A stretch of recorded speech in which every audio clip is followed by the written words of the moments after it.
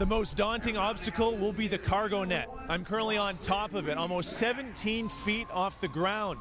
It's raining and it's cold, around 13 degrees Celsius, 56 degrees Fahrenheit, and the winds are gusting 30 kilometers per hour or 18 miles an hour. And with potentially 10 athletes on the net at once, they'll have to traverse it one leg at a time. The cargo net represents the midpoint of the O course, and the teams will have to climb it twice in succession. I spoke with Tola before this event. He said the team is not happy with the 29th, 27th, and 34th in the last three events to keep them 20 points out of the top 10. He said they had the wrong strategy in the rowing worm and the dragon drive by going out a little too hot, but they are excited about these next two events. He is going to be paired in the second half with Back Bay's shortest member, Molly Abgarian. So Tola will be shouldering most of the load on the deadlifts because he is the team's strongest guy.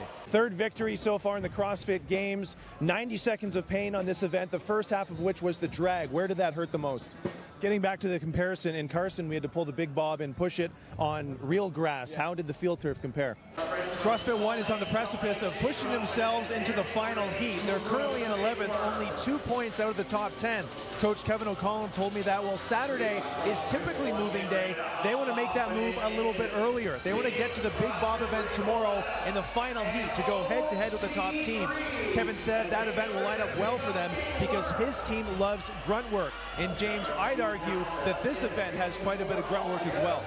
I spoke to your coach CJ before this event, and he said it was all about managing expectations because you're one of the smaller teams here at the CrossFit Games. So, how would you rate your performance? You guys have a lot of CrossFit Games experience. In previous years, we've reseeded after each day. Now we're reseeding after each event. What do you think of the change in the schedule? Now, with a win, Wasatch would end Rich Froning's streak of six consecutive individual and team championships, and Adrian Conway would earn his third Affiliate Cup title, tying him with James Hobart for the most all time. So the question is, James, are you ready for some company?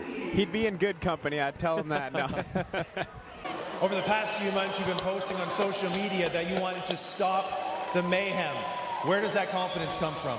Well, you called your shot. It was very impressive, and this was a dominating performance. Four wins in 12 events. What makes this team so effective?